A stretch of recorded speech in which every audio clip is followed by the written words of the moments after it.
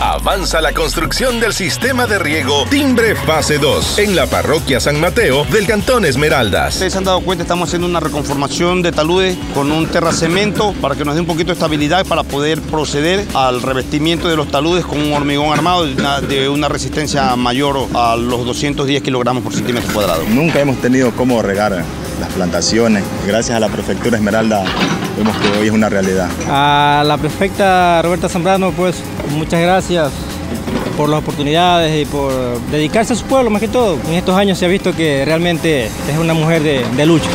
Prefectura de Esmeraldas. Roberta sí cumple.